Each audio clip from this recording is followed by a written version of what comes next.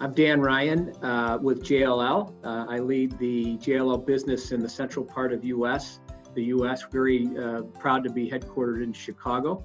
Uh, we've been involved with Cara for the last uh, 15 years or so. In 2007, uh, JLL was incredibly proud to be honored with the Cara Good Neighbor Award.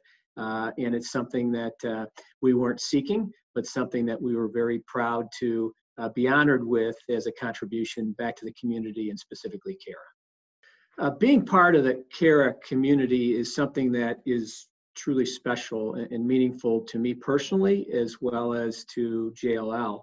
Uh, CARA is all about transforming people's lives, rebuilding confidence, rebuilding self esteem, giving people something back that they may have lost along the way uh, and that job certainly is a uh, confirmation of that. But uh, the whole transformation process is something that we're so uh, proud to be part of. When I became part of the board, uh, Tom, who happens to be the most difficult person to say no to that I've ever met, and the reason that that is the case is because Tom truly cares about you as an individual. So when he asks you to do something, you not only want to do it, but you want to do a great job of it. Uh, Tom asked uh, JLL and, and me to uh, get together with ABM and our property management business to start the ABM janitorial uh, training and certification process. And over the years, that has become one of the most uh, successful training programs uh, that CARA has had.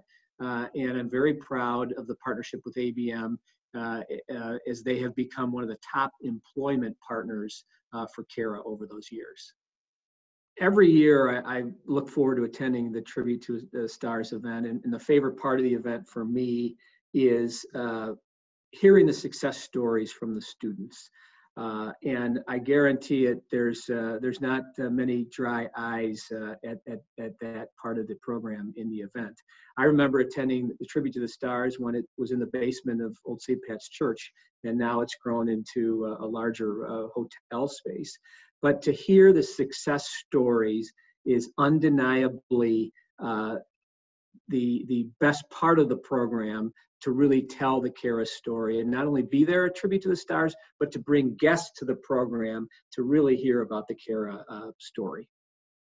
Uptown United uh, really has over the years uh, focused on uh, building a unified business environment in the uptown area and doing it uh, through diverse, vibrant, and, and, and really goal to have a thriving uh, uptown uh, uh area. Uh, they've embraced CARA as one of the longest standing clean state slate customers and have been able to offer hundreds of jobs to CARA students. So I, I offer my sincere congratulations and thanks to Uptown United uh, and uh, uh, it's, a, it's a wonderful thing that has been accomplished. I also want to congratulate Mark Carroll.